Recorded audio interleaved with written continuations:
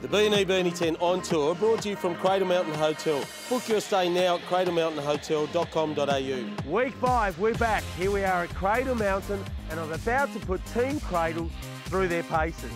Step outside and go hardcore. Often the best gym is in your own backyard. Running five by one kilometres with a minimal rest may give you a better result. If you want to run fast, run fast. If you want to push harder, work harder. Use all resources available, like our teams this year, a track, a beach, a park, a road. Use what is available to maintain the pressure in that training session.